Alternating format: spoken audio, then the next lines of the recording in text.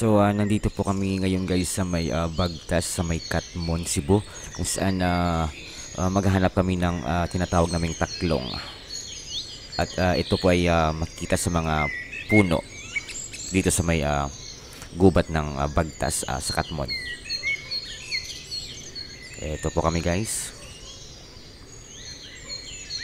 Ito po yung mga kasamahan ko sina Lemar, Glenn, Ronel at saka ah, Alfie. Ito po si ah, Kuya Lemar.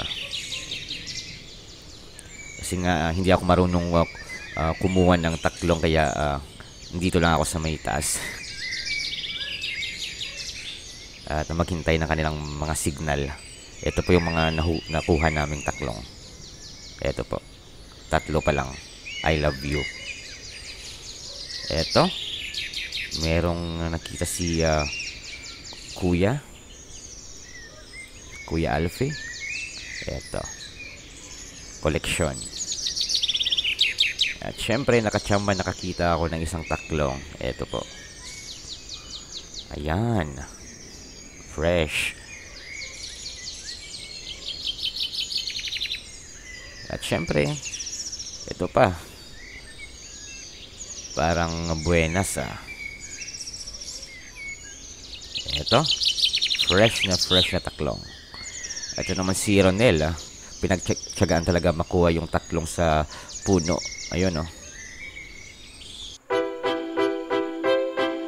At syempre ito yung mga kasama naming mga mga bata.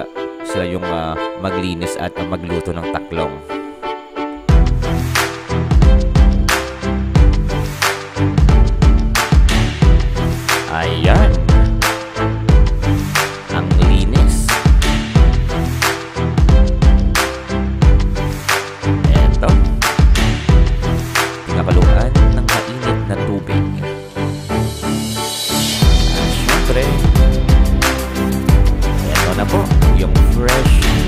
Sizzling taklong na niluto ni Ronel.